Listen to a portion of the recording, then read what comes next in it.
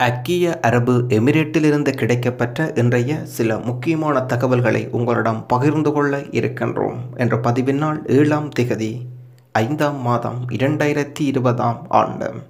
ஐக்கிய அரபு எமிரேட்டில் வைரஸினால் பாதிக்கப்பட்ட நபர்களின் மொத்த எண்ணிக்கை பதினாறாயிரத்தி இருநூற்றி நாற்பதாக உயர்வடைந்திருக்கின்றது.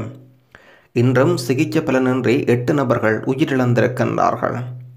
அமீரகத்தில் இதுவரை மொத்தமாக உயிரிழந்தவர்களின் எண்ணிக்கை நூற்றி அறுபத்தி ஐந்தாக காணப்படுகின்றது. துபாய் டியூட்டி ஃப்ரீயில் இந்தியருக்கு அடித்த அதிர்ஷ்டம் பரிசுத்தொகை ஒரு மில்லியன் டாலர். ஐக்கிய அரபு அமீரகத்தில் நடைபெற்ற துபாய் டியூட்டி ஃப்ரீ மில்லியன் குலுக்கலில் அமீரகத்திலிருந்து மூன்று இந்தியர்கள் வெற்றியாளர்களாக அறிவிக்கப்பட்டுள்ளனர். அபுதாபியை வசிப்பிடமாக கொண்ட நாற்பத்தி ஏழு வயதான அஜித் நரேந்திரன் என்றவரும் ஒரு மில்லியன் டாலர் பரிசுத்தொகையை வென்றிருக்கின்றார்.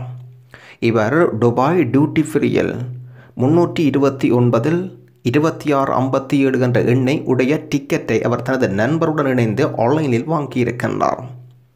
தாயகம் திரும்புவர்கள் கட்டாயம் தெரிந்து கொள்ள வேண்டிய பயணம் தொடர்பாக இந்திய மத்திய அரசு வெளியிட்டுள்ள நெறிமுறைகள்.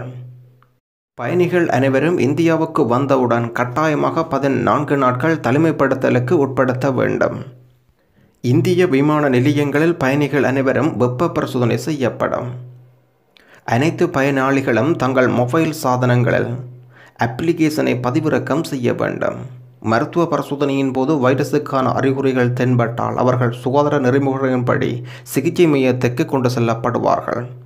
அதன் நான்கு நாட்கள் தனிமைப்படுத்தலில் இருக்க வேண்டும். சிவில் விமான போக்குவரத்து அமைச்சகத்தினால் கூறப்பட்டுள்ள நெறிமுறைகளை நீங்கள் பின்பற்ற வேண்டும்.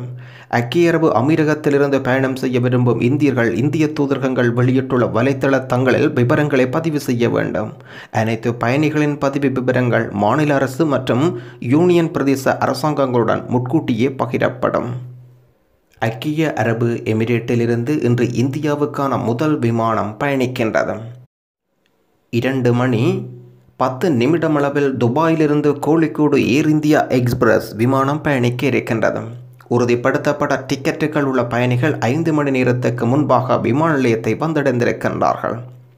துபாயில் உள்ள இந்திய துணை தூதரகத்தின் செய்தியாளர் நிராஜ் தெரிவிக்கையில் விமான நிறுவனம் ஏற்கனவே டிக்கெட்டுகளை வழங்கியுள்ளதாகவும் இந்த விமானத்தில் நூற்றி எழுபது பயணிகள் கொண்டு செல்ல உள்ளதாகவும் தெரிவிக்கப்பட்டுள்ளது.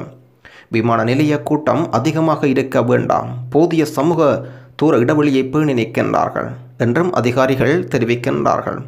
தேவையான அனைத்து முன்னெச்சரிக்கை நடவடிக்கைகளையும் கடைபிடிக்க வேண்டும் என்றும் பயணிகளையும் கேட்டுக்கொண்டார்.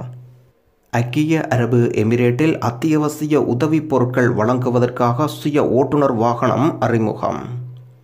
சார்ஜாவில் மக்களுக்கு தனிப்பட்ட பாதுகாப்பு உபகரணங்களை விநியோகிக்க சுகாதார அமைச்சகம் சுய ஓட்டுநர் வாகனத்தை அறிமுகப்படுத்துகின்றது. சார்ஜாவில் உள்ள ஒரு குடியிருப்பு வளாகத்தின் குடியிருப்பாளர்கள் மற்றும் தொழிலாளர்களுக்கு முகமூடிகள் கையுறைகள் மற்றும் துப்புரவு பொருட்கள் உள்ளிட்ட தனிப்பட்ட பாதுகாப்பு உபகரணங்களை விநியோகிக்க சுய ஓட்டுநர் வாகனத்தை நிறுத்துவதாக சுகாதார மற்றும் தடுப்பு அமைச்சகம் அறிவித்திருக்கின்றது. நாடு செல்வதற்காக பயணிகள் துபாய் விமான நிலையத்தில் வருகை தருகின்றார்கள். வெளிநாடுகளில் சிக்கி தவிக்கும் குடிமக்களை மீண்டும் கொண்டு வருவதற்காக திருப்பி அனுப்பும் பயணியை இந்தியா இன்று தொடங்குகின்றது. அக்கியரபு எமிரேட்டிலிருந்து முதல் இரண்டு விமானங்கள் இன்று தலா நூற்றி எழுபத்தி ஏழு பயணிகளை ஏற்றிச் செல்லும். அபுதாபி கொச்சி விமான நிலையம் நான்கு பதினைந்து மணிக்கும் மாலை. துபாய் கோழிக்கூடு விமான நிலையம் மாலை ஐந்து மணிக்கும் புறப்படும். வியாழக்கிழமை காலை ஒன்பது முப்பது மணியளவில் பயணிகள் அபுதாபி மற்றும் துபாய் விமான நிலையங்களில் வரத் தொடங்கியிருக்கின்றார்கள். தினமும் இரண்டாயிரம் பயணிகளை இந்தியாவுக்கு அழைத்துச் செல்ல எதிர்பார்க்கின்றது ஏர் இந்திய விமான சேவைகள்.